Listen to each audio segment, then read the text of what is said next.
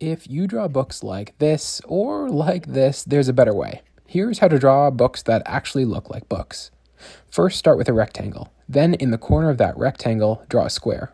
Continue that square out to draw another rectangle. Now, you're going to connect those two rectangles with lines on the bottom, the top, and the top right hand side.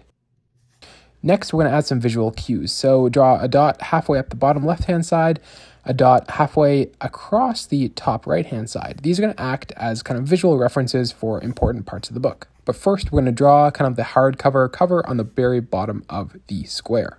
Halfway up the side, we're going to draw a little dot, and that's where the pages are going to meet. These arcs can be tricky to draw, so take your time, but they don't need to be perfect. The bottom of the arc should meet the lines vertically at about a third of the way up the rectangle, and then draw the bottom of the pages all the way across. Kind of makes it look like there's much of this book left to be read. See how I'm using these dots to create those visual